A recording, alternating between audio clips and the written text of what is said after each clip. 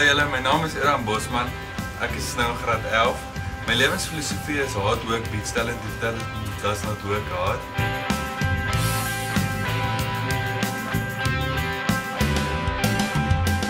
Ek is maar oor die herwinningstema want ons maak skoolkinders bewus om groen vingers te hê. My uitrusting vanaand is van Aerothene. Ons het dit gebruik want dit werk baie maklik en dit is er ook rekbaar, dit skeer nie so maklik nie. Ek wil ook net vir my ma sê baie dankie dat ma vanaand hier is en Lenay, jy lyk vanaand pragtig. Ek wil ook net vir Angelique sê dankie. Dankie vir al jou hulp en vir Angelique se ma wat ons rondgery het. Ek hoop almal geniet die aand verder.